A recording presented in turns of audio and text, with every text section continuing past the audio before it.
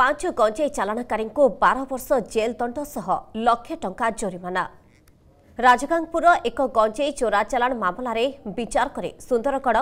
ADJ Rajesh Das এই রায় প্রকাশ করেছেন জরিমানা অনাদায় অধিক ছমাস জেল দণ্ডাদেশ ভোগিবা রায়ে দর্শাই দণ্ডাদেশ পাই ব্যক্তি মানে উত্তরপ্রদেশ রাজ্যর এমডি আফজল জিতেন্দ্র চোবে দানিশ অনসারি ঋষি কুমার এবং কুন্দন ଦୁଇହଜାର ବାଇଶ ମସିହା ମାର୍ଚ୍ଚ ମାସରେ ଗଞ୍ଜେଇ ଚୋରା ଚାଲାଣ ହେଉଥିବା ନେଇ ସୁନ୍ଦରଗଡ଼ ଜିଲ୍ଲା ରାଜଗାଙ୍ଗପୁର ପୋଲିସ ଖବର ପାଇଥିଲା ଏକ ଗାଡ଼ିକୁ ଜବତ କରି ଚାରି କ୍ୱିଣ୍ଟାଲ ଷୋହଳ କେଜି ତିନିଶହ ଗ୍ରାମ ଗଞ୍ଜେଇ ଜବତ କରି ପାଞ୍ଚ ଜଣଙ୍କୁ ଗିରଫ କରିଥିଲେ